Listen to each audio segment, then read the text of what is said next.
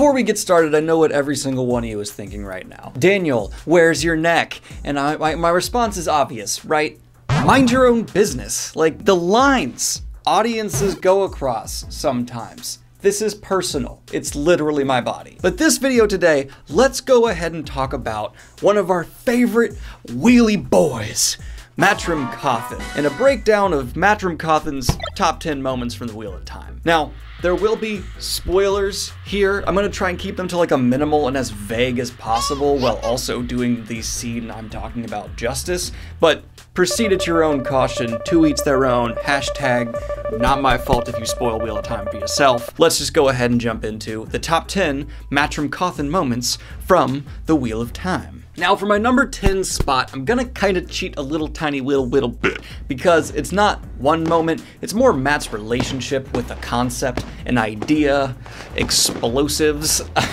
this could take up multiple spots in the list, but I figured I would just do a catch-all here and say for number 10, it's Mat's relationship with things that go whether it's throwing fireworks into a fire to scare some dark friends, or using fireworks to blow up part of the Stone of Tear, and finally, helping invent cannons, Mat's relationship with things that go is pretty intricate and intense. And I, for one, love it. I think it's so much fun. And there's nothing that's like obviously the best moment of Mat coming from any of this, but it's definitely worth a mention that Mat and things that is one of my favorite things about his character. It's a cool little evolution, like mini arc, that he starts with like a dumb farm kid who cuts open fireworks, which is dangerous as hell, to, you know, helping progress the weapons and mechanisms of war. Number nine is another not so traditional Mat pick. You see how I don't like to always go for the low hanging fruit here? I want to go outside the box a little bit. And here it's actually how a character compares Mat to their own uncle. They tell a story of how a building was on fire, but their uncle kept going back into it to pull out children and others who were trapped in the building. And eventually, he was succumbed to the smoke. He refused to stop looking for more people who might need rescuing. And that's really, really true to Mat's character, and is actually kind of just like a foreshadowing for a lot of the moments that are to come for Mat in this list. Because I've been asked many times, like, what are the defining characteristics and traits of this character, that character? For me, Mat is the rambunctious gambler, loudmouth, of course, but he's also the best friend the Wheel of Time has to offer. So many of Mat's best moments are him just showing that he will go over the moon for people he cares about. And this description has just always struck me as a great moment for his character in the Wheel of Time because it's put so succinctly why we all love him so much. Number 8 is one that I find really, really funny, but very few other people would mention in a list like this, but I just I just really like this moment, and that is when we discover after a time in the Aiel Waste. There's they're hanging out, camping. You know, it's the start of a new book, and Darkhounds attack where they're staying in one of the Aiel camps, and Mat is behind a door, butt ass naked, trying to hold it. trying to hold it shut as Darkhounds, one of the most, if not the most feared shadow spawn in existence, is trying to break in. And he's just naked against a door, trying to be like, oh, to me, that's always been like a really comedic moment, but it still manages to have high stakes. He's eventually rescued and he has slobber from a dark hound on his arm, which needs to be taken care of. It's a big deal. And this scene also goes to another level, which I actually really think it complements the comedy of this one next with the drama of what proceeds with Mat. But we're not going to get to that for spoiler reasons. But I just love that Mat is is literally doing like the thing where you put your foot and you stop stop it, and on the other side of that is a walking nightmare as he hangs schlong, just desperately trying to save his own life. At number seven, we have Mat meeting up with, okay, just flat out, big spoiler warning here. Just gonna put that in there. Okay, boop, stoop, done. Okay, moving on. Mat is reuniting with Egwene, Elayne, and Nynaeve for the first time after oh, oh, oh, oh, so long. And unbeknownst to him, Egwene has risen to the seat of the Amyrlin among the rebel Aes Sedai. And Mat kicks open the door, poof, sees the three women. He's like, look, I don't know what idiot they've made take charge here and be their Amyrlin, but I'm getting you all, we're getting on out, and let's get on and daddle. Not knowing that he's talking to the Amyrlin of the rebels. Egwene. It's Egwene. It's Egwene right in front of him. And he, he's kind of called her an idiot. The comedy, the build up, the payoff of this scene is magnificent. It fits him and like the perfect reunification with these friends he's made after all this time. And the way it's handled, the slow realization that comes over Mat after he realizes like, oh, you weren't joking when you wore that stole when I came in here. No, you're you're actually you're actually the Amyrlin and you're sitting in her chair because you are the Oh. It's just an example of Robert Jordan's humor working extraordinarily well uh, in the series, and it's one of my favorite moments for our boy, uh, pretty much for like, you know, character on character stuff. I don't know. I don't feel it. It's just a random top 10 list. Just enjoy me talking about Mat moments, can we? Number six is Mat wanting to leave a battlefield. He's he's he's like I'm gonna I'm gonna leave now because people are gonna start dying, and I'm still just a farm boy in my own mind. And to most of these other people, it's a lot of Aiel against a lot of Aiel and some Kari and and I'm an Andoran villager, so I'm just gonna gonna leave. And then he keeps because his luck is like, no, you have a destiny, my friend. yeah, yeah, you gotta come right back in here. We're gonna do bad stuff. He keeps running into soldiers who are about to get ambushed, and he needs to go save them because he's not an awful person who's gonna go let these soldiers be ambushed. So instead of leaving the battle, he ends up leading the battle and stumbling upon Couladin and killing him because that's Mat's character. it's one of those moments that you like realize like, oh, this is how Mat's gonna operate forever probably, where he just wants to go be like, I'm gonna chill, don't need any of this Dragon Reborn, and stuff.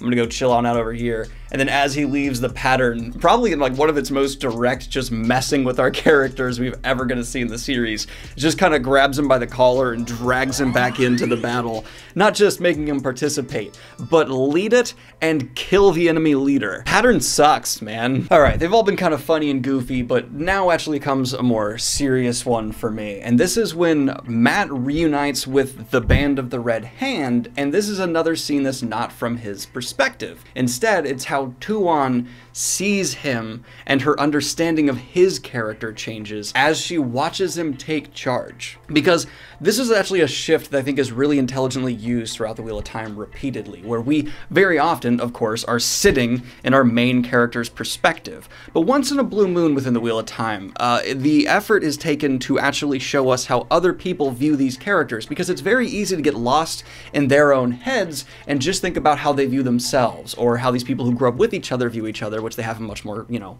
intimate view. But people who have only known Mat for a couple of months, they see him much differently. And seeing Tuon realize he's not just some buffoon, he's a lion. He's an extraordinary leader. And these people would all die for him, not because they fear him or out of some shallow obligation, but because they love him as a leader. The full quote is Tuon looked at him, squatting there by the map, moving his fingers over the surface, and suddenly she saw him in a new light. A buffoon, no. A lion stuffed into a horse stall might look like a peculiar joke, but a lion on the high plains was something very different. Toy was loose on the high plains now. She felt a chill. What sort of man had she entangled herself with?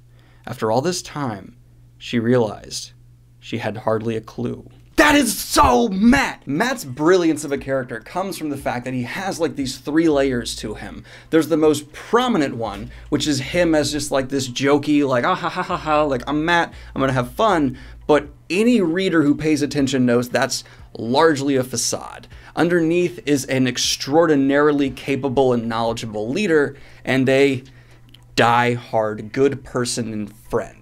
And that's actually where we're going to transition into for the next one, of course. At number four, we have Mat and Boots.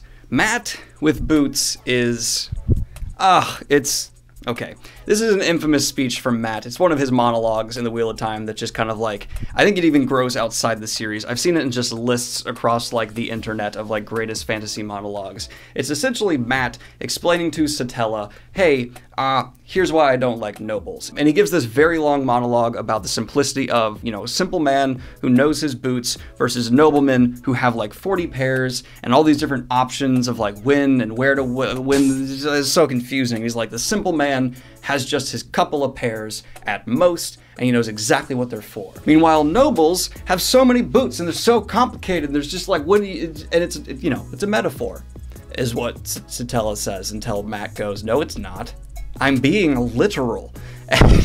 In the context of the grand series, it's like, yeah, that's Mat. And you're not entirely sure if he's joking when he says it's not a metaphor or if he really believes no, it's not a metaphor. It ends with Setalle just kind of being like, you're an unconventionally wise man, and Mat knows he is. I just really love this because yes, the fans do overhype this scene a little bit, but I do think it is also a great moment of comedy, character, and wisdom uh, within the Wheel of Time where readers can actually take away what's Mat saying, they can enjoy the character moment, and blend that in all together with the humor of Mat, you know, being Mat while all of this is happening.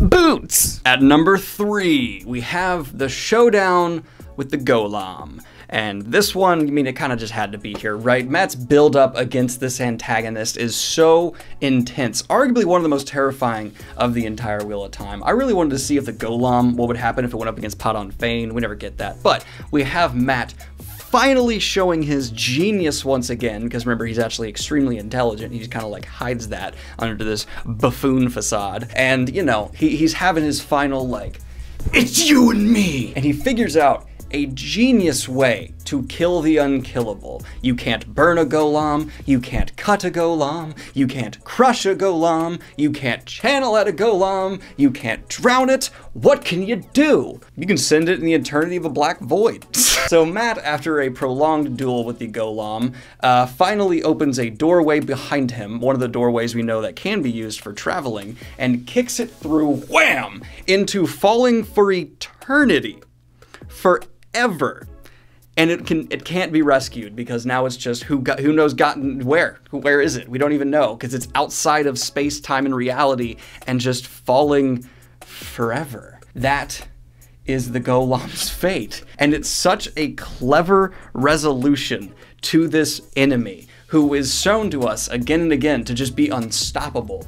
I didn't think of it before I saw this scene. It's not like something that's prevalent enough in the text, these doorways that you think, oh, this is the way to go. I actually thought like, oh, get the gholam halfway through a gateway and close it. Maybe that would cut it in half, or maybe the weave would just shatter. We don't know, and we never will because Mat came up with a more foolproof and better way. Send it outside of space and time because that's how he resolves his problems. And at number two is another combat scene with Mat. In the first couple of books, especially if it's your first time through the series, Mat is one of the most disliked characters. He quickly turns around in book three, and it has that, that turn, that twist, that turnaround has such a kickoff with this very well known showdown between Mat and two pretentious noble boys, Gawyn and Galad. Now, I actually like Galad as a character. I'm a Galad defender. I know that's not exactly the most popular thing to say, but I enjoy Galad. I think he actually practices what he preaches, and what he preaches isn't horrendous. Now, Mat comes down to the warder training yard after having some of the most intense healing we see throughout the series in the Wheel of Time, and challenges the two star pupils the warders are training to just fight him.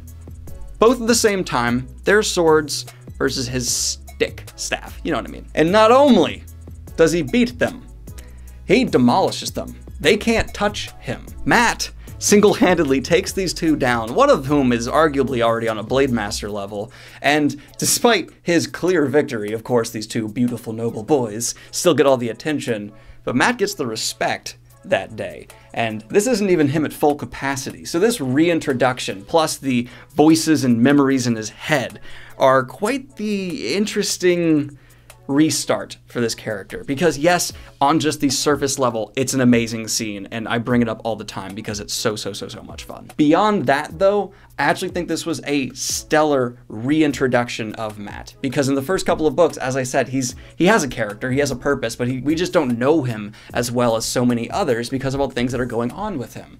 Now we get to re-know Matrim Cauthon and what he's going to be and become. I'm very excited to see how they handle this in the show. Uh, I really want to see Barney Harris kick some ass in a courtyard.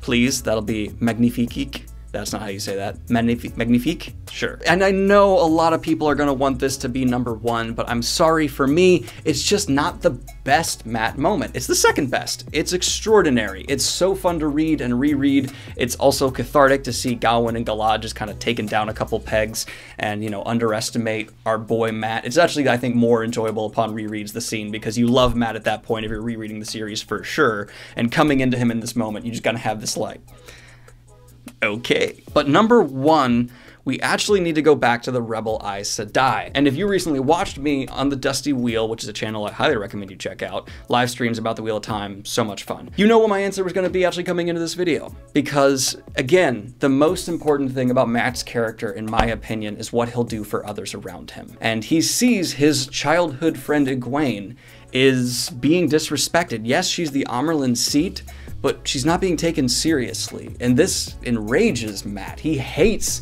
seeing someone he knows, he loves, he trusts, not be taken seriously and being propped up almost as a puppet. So immediately, without question, he goes to Egwene bows to her and thanks her, basically humbling himself before her and showing immense and great respect. Showing the other Aes Sedai that this seat means something even if they did promote Egwene to it as some puppet, something to be manipulated. That's not how he's going to see it, and it's not how the dragon, the person that Mat represents on this mission, is going to treat it either. Reshifting and reframing a power dynamic, at least laying down some sparks for Egwene to light a fire with that she absolutely does. And that's not to take away credit from Egwene. No, Egwene earns her power within the Rebel Aes Sedai. But just this small gesture from a friend that means so much, and he could have easily not done and ignored and kept his own ego the most important thing.